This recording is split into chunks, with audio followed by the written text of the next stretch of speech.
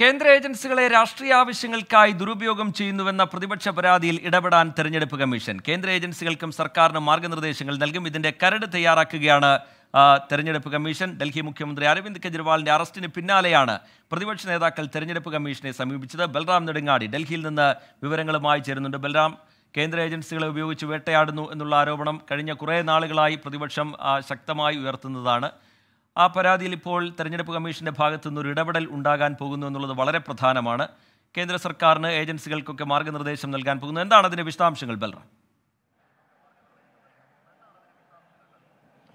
റീജിത്ത് സൂചിപ്പിച്ച പോലെ തന്നെ കേന്ദ്ര ഏജൻസികളെ കേന്ദ്ര സർക്കാർ രാഷ്ട്രീയമായി ദുരുപയോഗം ചെയ്യുന്നു എന്ന് പ്രതിപക്ഷ പാർട്ടികൾ കാലങ്ങളായി ആരോപിക്കുന്നുണ്ട്.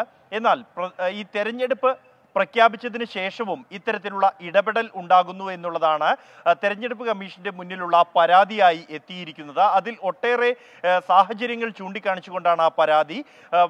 ഡൽഹി മുഖ്യമന്ത്രി അരവിന്ദ് കെജ്രിവാളിന്റെ അറസ്റ്റിന് പിന്നാലെയാണ് ഇന്ത്യ മുന്നണി ഇത്തരത്തിൽ വിശദമായ ഒരു പരാതി കേന്ദ്ര തെരഞ്ഞെടുപ്പ് കമ്മീഷന് നൽകിയിരിക്കുന്നത്. ഒപ്പം തന്നെ പശ്ചിമ ബംഗാളിൽ മൗവ മൊയ്ത്രയ്ക്ക് എതിരായി നടന്ന റെയ്ഡിന്റെ എതിരെ തൃണമൂൽ കോൺഗ്രസും ഒരു പരാതി തെരഞ്ഞെടുപ്പ് കമ്മീഷന് നൽകിയിട്ടുണ്ട്. രാജ്യത്തെ പ്രതിപക്ഷ പാർട്ടികൾക്ക് എതിരെ അവരുടെ പ്രതിച്ഛായ നശിപ്പിക്കാൻ ലക്ഷ്യം വെച്ച് കേന്ദ്ര ഏജൻസികൾ റെയ്ഡുകളും മറ്റ് നടപടികളും നടത്തുകയാണ് എന്നുള്ളതാണ് ഈ പരാതിയിൽ ആരോപിക്കുന്നത്. ഈ ഒരു പശ്ചാത്തലത്തിലാണ് ഗൗരവതരമായ ഇടപെടൽ ഇക്കാര്യത്തിൽ വേണം എന്ന ഒരു തീരുമാനത്തിലേക്ക് കേന്ദ്ര തെരഞ്ഞെടുപ്പ് കമ്മീഷൻ എത്തുന്നതും അതിനായുള്ള നടപടികൾ ആരംഭിച്ചതും നിലവിലെ സാഹചര്യത്തിൽ തെരഞ്ഞെടുപ്പ് കമ്മീഷന് ഏജൻസികളുടെ പ്രവർത്തനത്തിൽ നേരിട്ട് ഇടപെടുക എന്നുള്ളതിന് പരിമിതികളുണ്ട്.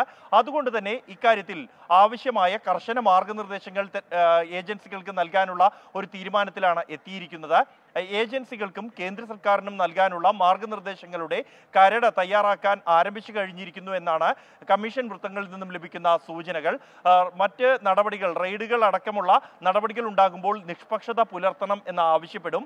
ഒപ്പം തന്നെ കൃത്യമായ തെളിവുകൾ ശക്തമായ തെളിവുകളുള്ള ഗൗരവമുള്ള സാഹചര്യങ്ങളിൽ മാത്രം റെയ്ഡുകൾ നടത്തണം എന്നതടക്കമുള്ള നിർദ്ദേശങ്ങൾ ഈ മാർഗനിർദ്ദേശത്തിൽ ഉൾപ്പെട്ടിട്ടുണ്ട് എന്നും ഈ ഏജൻസികളും ഒപ്പം തന്നെ ഉദ്യോഗസ്ഥരും മാധ്യമങ്ങൾക്ക് മുന്നിൽ നടത്തുന്ന പ്രതികരണങ്ങളിലും വാർത്താക്കുറിപ്പുകളിലും നിഷ്പക്ഷത ഉറപ്പാക്കണമെന്നും മാർഗനിർദ്ദേശങ്ങൾ അടങ്ങിയിട്ടുണ്ട് എന്നുമുള്ള വിവരം ലഭിക്കുന്നുണ്ട്.